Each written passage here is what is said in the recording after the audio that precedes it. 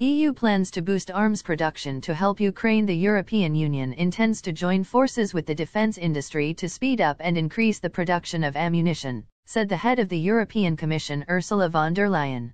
The time has come to really accelerate and increase the production of standardized products that Ukraine badly needs, Reuters quoted her as saying.